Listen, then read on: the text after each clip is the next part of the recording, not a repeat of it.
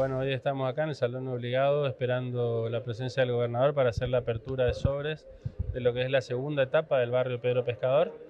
Tenemos en ejecución la primera etapa, que son 350 metros de protección de este barrio, y con esta segunda etapa que hoy licitamos, estamos completando lo que son los 650 metros de, de costa de esta obra, que la verdad que es una obra muy esperada, lleva varias décadas de espera. El gobernador Capitanich la ha iniciado en su gestión anterior, bueno, se ha contratado la primera etapa, ya después de algunas demoras, pandemia y todas esas cuestiones, hemos podido reflotar la obra. La primera etapa ya está en un 75% de avance y tenemos previsto la finalización para mediados de junio. Y bueno, y esta segunda etapa tiene un plazo de obra de 10 meses, así que seguramente estaremos insistiendo para que esto pueda ser finalizado antes.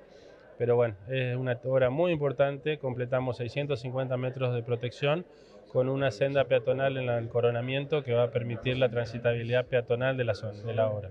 Del barrio Pedro Pescador, eh, que pertenece al municipio de Colonia Benítez, eh, está realmente se están ejecutando muchísimas obras. Primero todo el tema de red de agua potable, oportunamente hicimos el centro de salud con su refacción y ampliación, conjuntamente con eso, jardín de infantes, escuela primaria, escuela eh, secundaria, pero también ahora tenemos todo un proceso de relocalización de materia de viviendas, que son nueve inicialmente, después llegan a 20 y llegaremos a 40, digamos, con un sistema de relocalización de las mismas, con esta obra. Ya se están ejecutando 350 metros de extensión, con casi 78% de certificación, eh, o sea que en general la obra, primera parte, que son tres espigones, eh, todo el sistema de tabla estacado eh, y defensa, probablemente para el mes de abril se haga la certificación final de primera etapa concluida. Y paralelamente con esto, durante el mes de febrero y marzo, podemos ya adjudicar para el inicio de la obra que complementen 300 metros adicionalmente y a su vez tengamos un sistema de paseo costanero de carácter peatonal.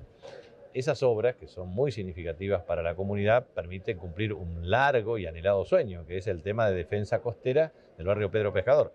¿Por qué se hace esta defensa costera? Bueno, porque cuando hay eh, crecida del río, automáticamente todo el barrio queda con anegamientos.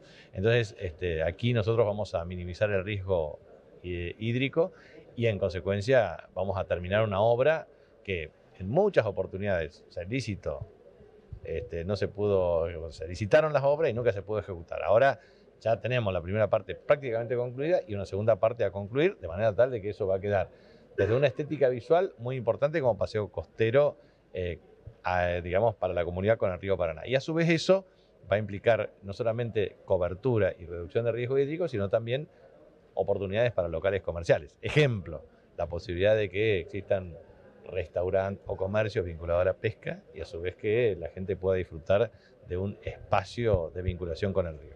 Somos el primer canal de noticias desde el interior del país.